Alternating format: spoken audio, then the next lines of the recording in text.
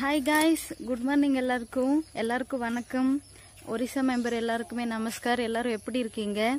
உங்கள் உங்க எல்லாருக்குமே இன்னைக்கு ஒரு சர்ப்ரைஸ் யார் யார் எங்களோட லவ் ஸ்டோரி எக்ஸ்பெக்ட் பண்ணிட்டு இருந்தீங்களோ அவங்க எல்லாருக்குமே என்னோட ஹஸ்பண்ட் இன்னைக்கு வராங்க. நாங்கள் சீக்கிரமாகவே அந்த வீடியோ அப்லோட் பண்ணிடுவோம். எல்லாரும் எல்லாமே உங்களோட சப்போர்ட்னால தான் எனக்கு தௌசண்ட் சப்ஸ்கிரைபர் ஆயிருக்கு. இன்னமுமே நீங்கள் எனக்கு எப்போதுமே சப்போர்ட் பண்ணிக்கிட்டே இருங்க. இன்னைக்கு இல்லாட்டி நாளைக்கு நாங்கள் கம்பல்சரி லவ் ஸ்டோரி அப்லோட் பண்ணிடுவோம் இன்னைக்கு அவங்க வர்றாங்க ஒரு லெவன் ஓ கிளாக் ரீச் ஆவாங்க இங்கே. ஆனால் இன்னைக்கு எந்த ஸ்பெஷலுமே சமைக்கல.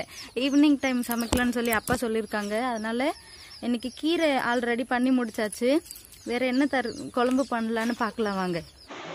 இன்னைக்கு அம்மா நாலு மீன் எடுத்து நான் எப்போதுமே தக்காளி சட்னி எப்படி பண்ணுவேன்? அந்த மாதிரி கங்கில் சுட்டு எடுத்திருக்காங்க. பார்த்திங்களா எப்படி இருக்குதுன்னு? இன்றைக்கி இதுதான் சட்னி பண்ண போகிறாங்க இதுக்கு இது கூட என்னென்ன மிக்ஸ் பண்ணுவாங்கன்னு பார்க்கலாம். இது வந்து உருளை சாரி வெள்ளை பூண்டு அப்புறம் மிளகா சேர்த்துருக்காங்க. கொஞ்சமாக உப்பு கொடுத்துருக்காங்க. இப்போ இதை நல்லா மிக்ஸ் பண்ணுவாங்க.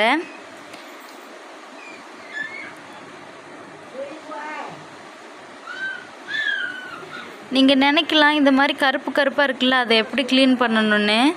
இப்படி அந்த அந்த கங்கெல்லாம் இருக்கிறது கங்கில் சுட்டிருக்கிறதுனால தான் முக்காசி அந்த பிளாக் கலரில் தெரியுது. இந்த மாதிரி உரசி உரசி எடுத்துரு ஃபஸ்ட்டு உரசி உரசி எடுத்துட்டு அதுக்கப்புறம் அம்மா சொன்னாங்க இப்போ எப்படி நம்ம மீன் வந்து சுத்தம் பண்ணும்போது கட் பண்ணி அந்த வாய் வழியாக க்ளீன் பண்ணுவோம்ல அந்த மாதிரி பண்ணுவாங்க பாருங்கள் இன்றைக்கி இது என்னோடய ஹஸ்பண்டுக்குமே ரொம்ப பிடிக்கும்.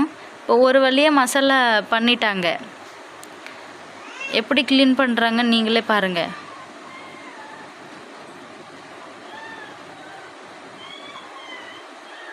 அங்கே பார்த்தீங்களா நான் சொன்ன மாதிரி வாய் வழியாக இப்படி பிரித்து அந்த நடுவில் ஒரு ப்ரௌன் கலரில் தெரியுது அது வந்து குடல்னு சொன்னாங்க.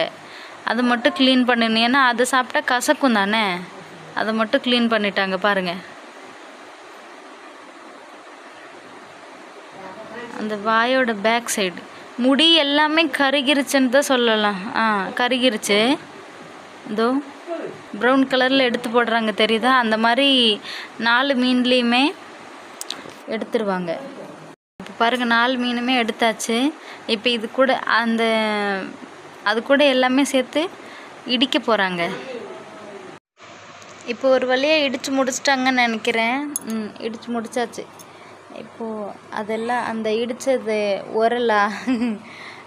அது க்ளீன் பண்ணிவிட்டு பார்க்கலாம் எப்படி இருக்குதுன்னு. பார்த்திங்களா கருப்பு கலரில் இருக்குது நான் இது ஒரு டைம் கூட சாப்பிட்டதே இல்லைங்க. எனக்கு ஏன்னா நம்ம நம்ம வந்து அங்கே தமிழ்நாட்டில் இருக்கும்போது எந்த ஒரு பொருளையுமே இந்த மாதிரி சுட்டு சாப்பிட்டதில்ல. ஃபஸ்ட் டைமே நான் தக்காளி சாப்பிடல. அதுக்கப்புறம் தான் சாப்பிட்டேன். இதை வந்து இன்னும் ஒரு ஒரு வருஷத்துக்கு அப்புறம் சாப்பிடுவேன்னா இருக்கும். அவ்வளோதான் ரெடி ஆகிடுச்சு இது வந்து ரெண்டு மிளகா சேர்த்துருக்கறனால இதை ஒன்றும் நம்ம சாப்பாடில் போட்டு பிரட்டி சாப்பிட்ற மாதிரி சாப்பிட முடியாது. எல்லோரும் கொஞ்சம் கொஞ்சமாக சாப்பிடுவாங்க.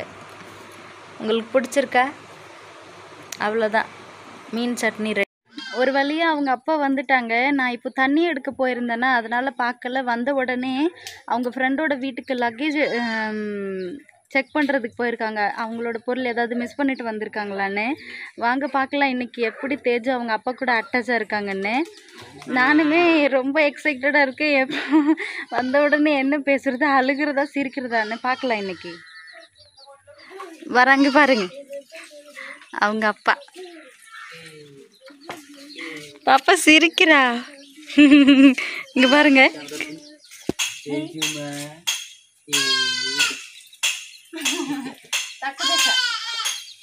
Oi, அப்பாமா அப்பா ஹி, அப்பா அப்பா அப்பா அப்பா oi, அப்பா பாரு அப்பா apa mana?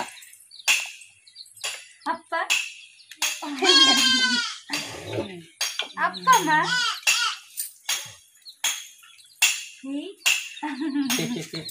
அப்பா Sambil tu. உங்க எல்லாருக்கும் காமிக்கிற இதுதான் என்னோட ஹஸ்பண்ட் வணக்கம். தமிழ் அவ்வளவா தெரியாது பட் கொஞ்சம் கொஞ்சம் பேசுவாங்க. நீங்க எல்லாருமே எக்ஸ்பெக்ட் பண்ணிக்கிட்டே இருந்தீங்க தானே? நிறைய பேர் கேட்டிருந்தீங்க ஏன் உங்க வீடியோல என்னோட உங்க ஹஸ்பண்டை காமிக்க மாட்டேங்கிறீங்கன்னு இன்னைக்கு தான் வந்தாங்க. பார்த்துக்கோங்க பயங்கரமா ஃபர்ஸ்ட் ப பயந்தா இப்போ கொஞ்சம் நல்லா பரவாயில்ல.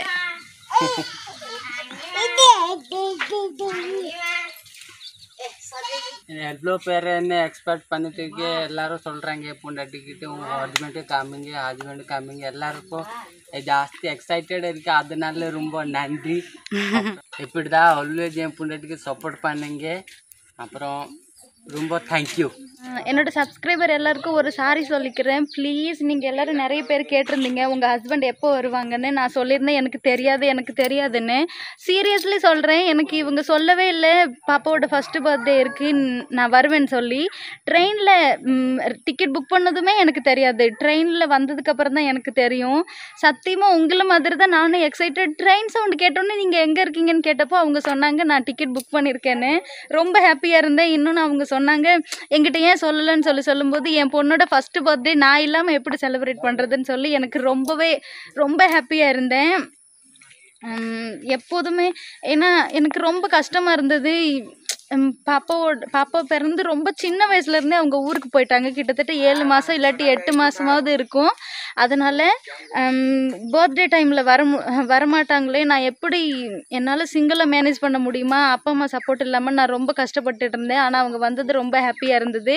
நாளைக்கு இல்லை நான் நாளைக்கு இல்லை நாளன்னைக்கு பாப்பாவோட பர்த்டே நான் சிங்கிளாக பண்ணியிருந்தா கூட இவ்வளோ சந்தோஷமாக பண்ணியிருப்பேனா என்னன்னு தெரியாது. இவங்க நிறைய ஒரு பிளானே வச்சுருக்கிறதா சொன்னாங்க. வரும்போது பாப்பாக்குமே ஒரு ட்ரெஸ் எடுத்துகிட்டு வந்திருந்தாங்க.